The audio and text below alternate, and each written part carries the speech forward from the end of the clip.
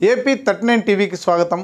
ఈరోజు వార్తా విశేషాలు. అనంతపురం జిల్లా బీజేపీ మహిళా మోర్చా ఆధ్వర్యంలో పది మంది మహిళలకు ప్రధానమంత్రి నరేంద్ర మోదీ ప్రవేశపెట్టిన పథకాలలో ఒకటైన ముద్రా లోన్ మంజూరు చేయించడం జరిగిందని రాష్ట్ర మహిళా ఉపాధ్యక్షురాలు మల్లేశ్వరి జిల్లా మహిళా మోర్చా అధ్యక్షురాలు అనంతకుమారి పొత్తూరు చిన్ని మీడియాతో తెలిపారు.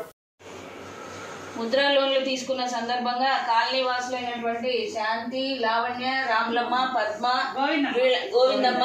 వీళ్ళందరి తరపున చిన్ని గారికి చిరు సత్కారం. కాలనీ వాసులు లోన్ తీసుకున్న మహిళలు చిరు సత్కారం. అందరికీ రుణపడి ఉంటారు.